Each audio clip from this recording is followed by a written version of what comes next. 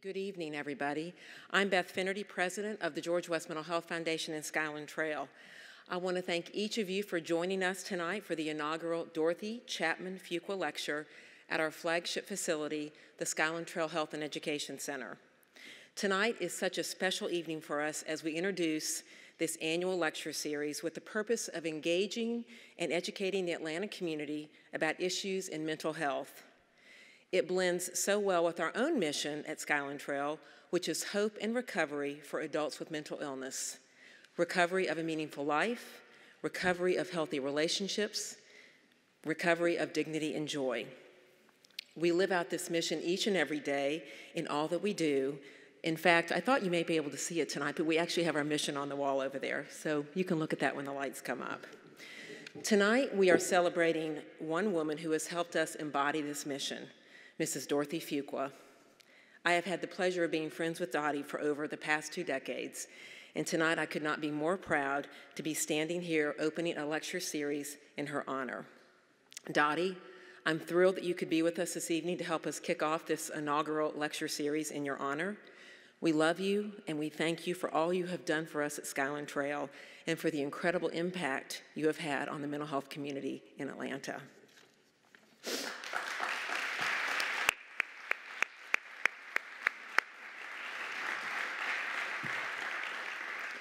One of the things that, have ma- that has made Skyland Trail so great is the support, involvement, and commitment we receive from our friends in the community.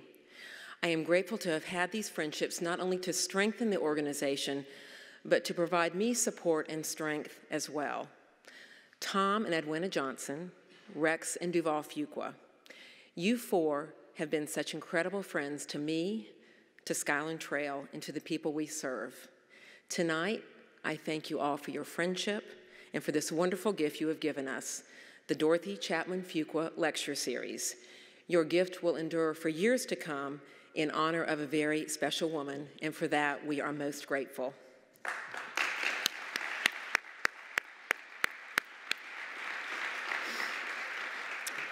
And now I'm going to turn the program over to one of these very good friends, Tom Johnson. I think it would be hard to find a person around here who doesn't know Tom or of his distinguished reputation both in the business world and for his involvement in and support of charitable causes. I first met Tom in 2004 when he served as honorary chair of Benefits of Laughter. Most of you, of, you, of you know him as the former publisher of the Los Angeles Times or as the former CEO of CNN. But what you may not know is his compassionate commitment to the cause and of his caring concern for those who struggle with mental illness every day. Tom volunteers his time to many nonprofits, both locally and nationally, and Skyland Trail is both honored and fortunate to be one of those. Please join me in welcoming Tom Johnson.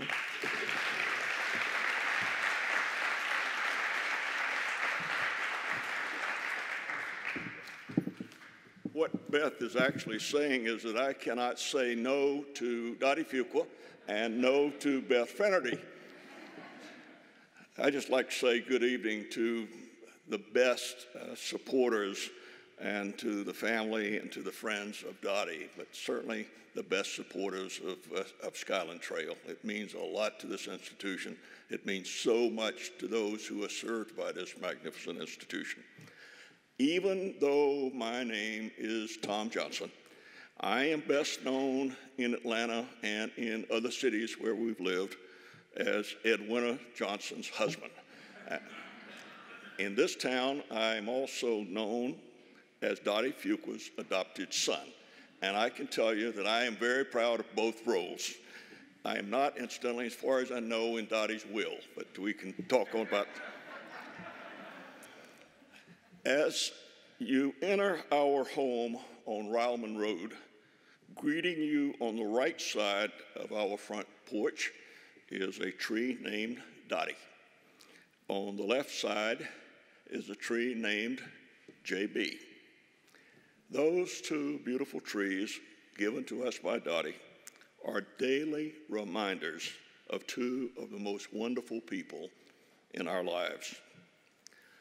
In Edwina's garden also grows two maple trees from Dottie. One of those, incidentally, is known as Madam Queen.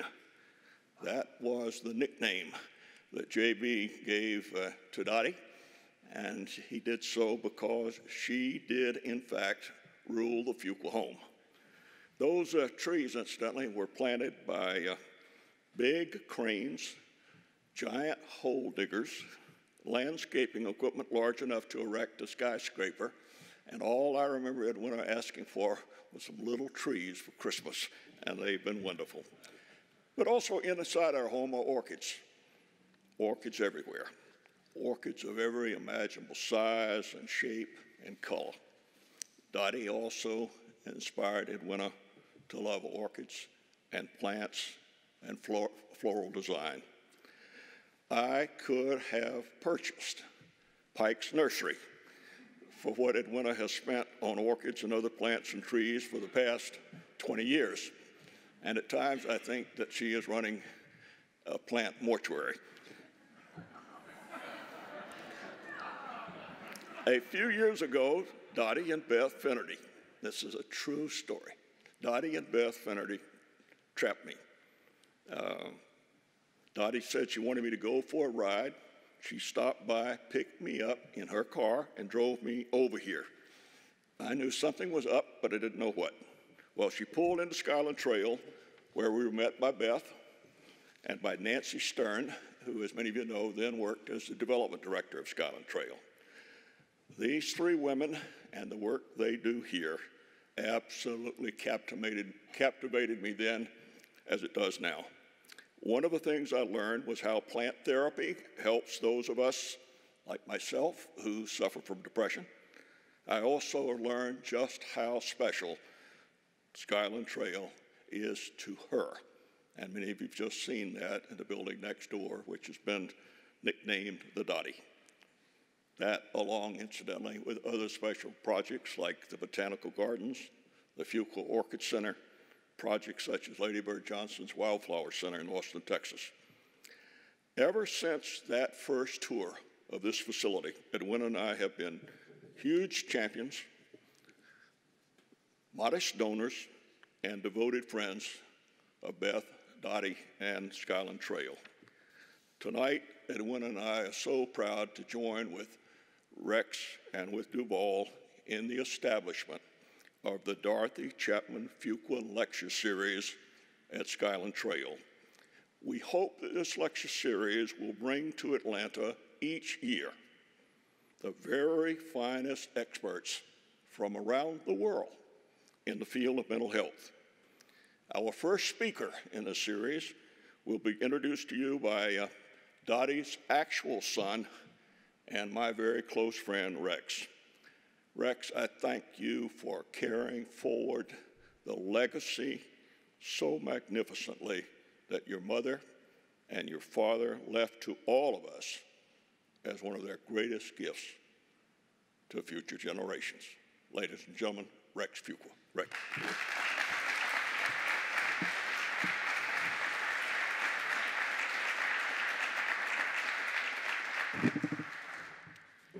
I must say that when my mother adopted Tom, she didn't tell me in advance. It was uh, a little bit of a shock. I'm, I'm still dealing with it. Uh, luckily, Edwina came along as uh, part of the package, so I was thrilled about that. Uh, we have this kind of competition going. I got a rose, he didn't. I don't know what that means exactly, but. Uh, you know, my, my mother uh, was the emotional gardener in our house. She provided the emotional fertilizer that helped us grow. Uh, she certainly helped my father over their very, very long marriage through lots of ups and downs because, as someone who suffered from depression, uh, he had lots of ups and downs.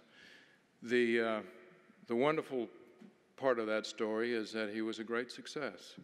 You can have your ups and downs, you can struggle, and you can still be a great success. But it takes the support of, of uh, family, friends, uh, caretakers, your doctors. And uh, the wonderful thing that we have today is uh, a great advancement in our understanding of mental illnesses. My father's first major depression hit him in, in the 1950s, And uh, if you've watched One Flew Over the Cuckoo's Nest, you know that it was not uh, it was not one of the bright periods of time for the treatment of mental illness. So uh, it was uh, gratifying that over all these years he got better as the treatments got better.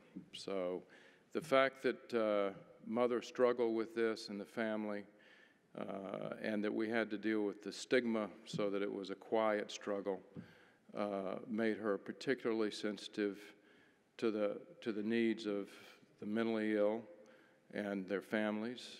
And her commitment to Skyland Trail has been fantastic over the years, and uh, I think it's made a huge difference for the organization. I know it has. Thank you, Mother.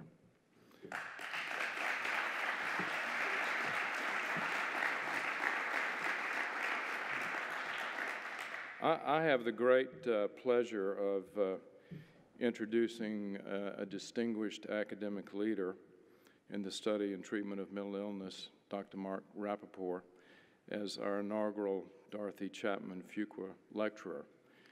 Dr. Rapaport is the newly appointed chair of Emory's Department of Psychiatry and Behavioral Sciences. Before arriving at Emory, Dr. Rapaport served as the Polier Family Chair in Schizophrenia and Related uh, Disorders in the Department of Psychiatry at Cedars-Sinai in Los Angeles, and Vice Chair and Professor in the Department of Psychiatry at UCLA. Dr. Rapaport is a board certified psychiatrist. He has acted as a mentor to numerous students, physicians, and researchers in the field of psychopharmacology. His research focuses on the biological genesis of anxiety disorders, bipolar disorder, depression, and immunity abnormalities in schizophrenia. He has served as the first chair of the National Institute on Drug Abuse Clinical Trials Network Data Safety Monitoring Board and chair of its Special Review Committee. Additionally, he has served as National Institutes of Health and National Institute of Mental Health Review Committees. Dr. Rapaport is a graduate of the University of California at San Diego, where he received his medical degree, and following his residency at University of California at San Diego, he completed a research fellowship uh, at the uh, UCSD's Department of Psychiatry and then a clinical fellowship at the National Institute of Mental Health in Bethesda, Maryland, where he later served as a guest researcher. I could go on and on because his CV is about that long, uh, but needless to say, he's a nationally recognized clinician, researcher, educator, and scholar. Having gotten to know him over the past few months, I can only say that we are very, very fortunate to have him here in Atlanta. We may, may, not be able to provide him with the California weather that he's become accustomed to over all these years, but we will make up for it with our southern hospitality and support. I am thrilled and honored that he is our speaker tonight. Please give Dr. Rapaport a warm welcome.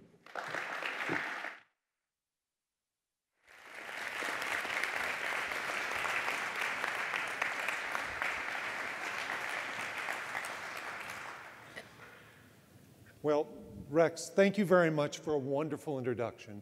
And thank you also for your friendship and support that you've already given to myself and to my family. I really do appreciate it. Same with you, Tom. You guys are some of the reasons that I'm here. What we're going to do tonight is, is talk a little bit about getting off the couch. We're going to talk about why Atlanta can transform psychiatry in the 21st century. Now, you notice I'm not saying Emory. I'm not even saying Skyland Trails. I'm saying Atlanta. And the focus tonight is on you and what all of us can do together. But in order to do that, we need to start out and look at what the problem really is. You know, I understand that I'm, I'm sort of bringing coals to Newcastle, that you guys understand this. But we need to get out the word. If you look at the, at the global challenge, five out of the top 10 causes of disability in the entire world are brain diseases. We're talking about depressive disorder. We're talking about alcoholism. We're talking about suicide, bipolar disorder, and schizophrenia.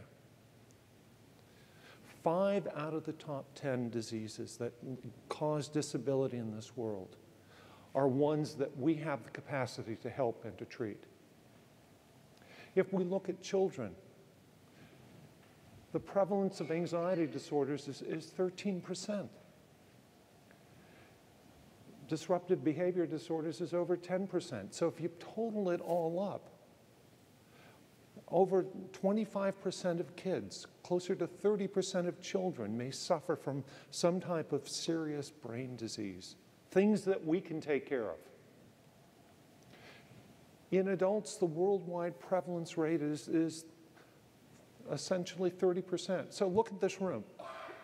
Look around here. Look around here at the people at this room. Think about one out of three people in this room having a, a brain disease. These diseases, common diseases of the most complex organ system the, of the body, are, are the challenge that we face. You know, I just got to Atlanta, but I heard there was a little trouble in term, Terminus recently. Of course, all of you know what Terminus means, right? Atlanta. Um, and there were some challenges that had recently been faced in the state in terms of issues around uh, providing the best care possible um, in Georgia. There have been some challenges when it came to uh, treating kids in Georgia. I'm going to tell you why these challenges are really opportunities for us and why all of us working together can do some wonderful things here. Why we'll make a difference and why Atlanta allows us a unique opportunity to make that difference. We can create unique synergies here. There are wonderful facilities, as you have here at Skyland Trail. There are not a lot of cities that can boast a facility that that's wonderful. And Beth, for you to take this from a staff of four to what you see today is, is absolutely remarkable. And you know, you should really be applauded for that.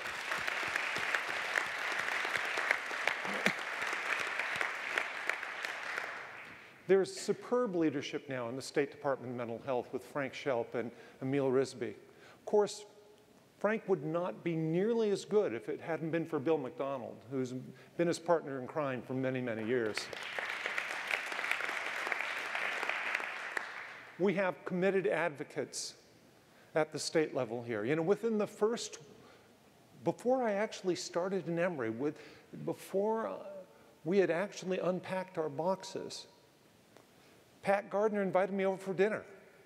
And she said, We've got some problems here, Mark, we got to fix. And Pat and Jerry were there, and, and Mary Margaret was there, of course, as, as well, saying, okay, now, how are we going to fix these issues about mental health in this state?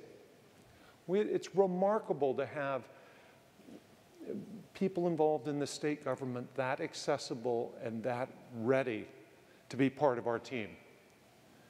And then Grady Hospital is a tremendously underutilized resource. And I think we have a tremendous opportunity there to bring so much to people who need our help. We have a best in class children's hospital network. It truly is one of the best in the world. We have a generous community. And you all are very, very generous and, and, and thoughtful individuals. And um, that's really remarkable. It's remarkable to have a, com a, community that understands the importance of the brain, understands the importance of, of these diseases, and is willing to be generous, and not just with money, but even more importantly, with time and with your reputations of saying, hey, this is important stuff.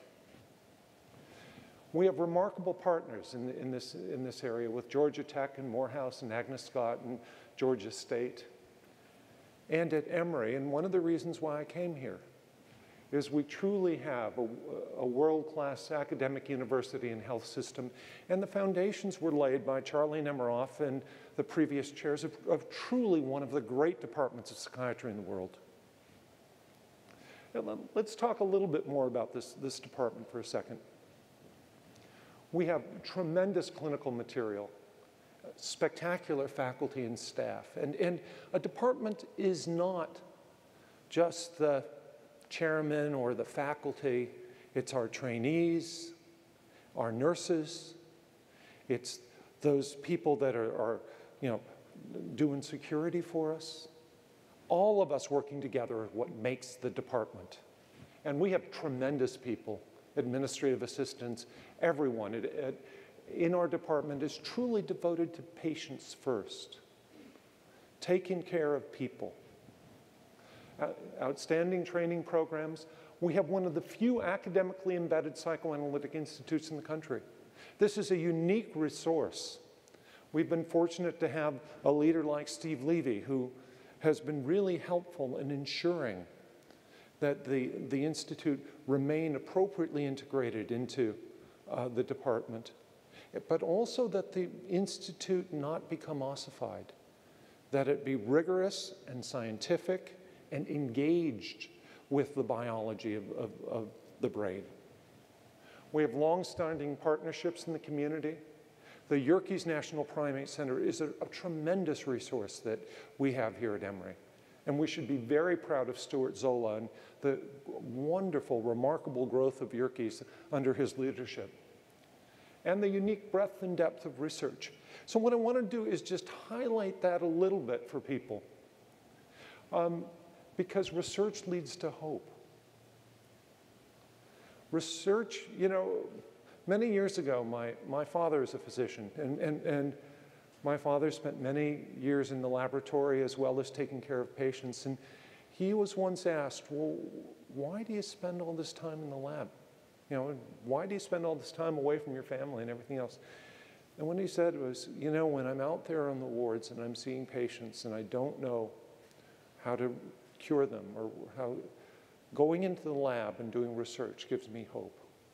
It gives me hope I'm going to find that cure for that patient of mine. I think you'll see with the, the little bit of we're going to talk about tonight, the tremendous hope we have because of the research at Emory. Emory is a leader of what we call translational research. What's translational research? It's real simple. It's bringing leading edge research to people. It's having the capacity to go from the bench to the bedside and then from the bedside out in the community so you disseminate those findings and bring the findings to the people that need it most. We're going to talk, we're going to scratch the surface tonight because when I was talking to Rex and Tom about this dinner, they said, you know, Mark, they're going to get real antsy in your seats if uh, you talk too long. So I said, Okay, we're only going to talk about three things tonight, but you need to realize that this is the tip of the iceberg of research about the brain at Emory University and, and just a sliver of what we do in our department. We're going to talk about mood disorders and their treatment, stress trauma and its treatment, and a little bit about substance abuse. Because, you know, as we were, as I was listening to you talk, Tom, you know, you were saying you got to get out the secret, the, the fact that brain diseases are things that people have all the time, and that it's not, it shouldn't be a, a stigmatized issue to have a disease of the most complex organ system of the body. Well, what I want to do tonight is just highlight a little bit of the secret of Emory. Because I suspect that even though many of you are, are natives of Terminus, that you don't have a, an inkling of just how wonderful this department is and just how fortunate I feel, at least, to be part of this department now. But let me show you some of that. We're going to talk about mood disorders. And in mood disorders, we have it all. We treat from children to late life. We have from early discovery to treatment dissemination. And I want to take a minute to show you the people and a little bit about what we're doing. So this is Ed Craighead's group, and Ed is back in the back of the room. You know, we know about those people in the back of the room, Ed, don't we? and this is part of his, of his group in the CAMP program. What's their mission? To offer the most effective evidence-based medical assessments and interventions when needed for depressed, bipolar, and anxious children and adults.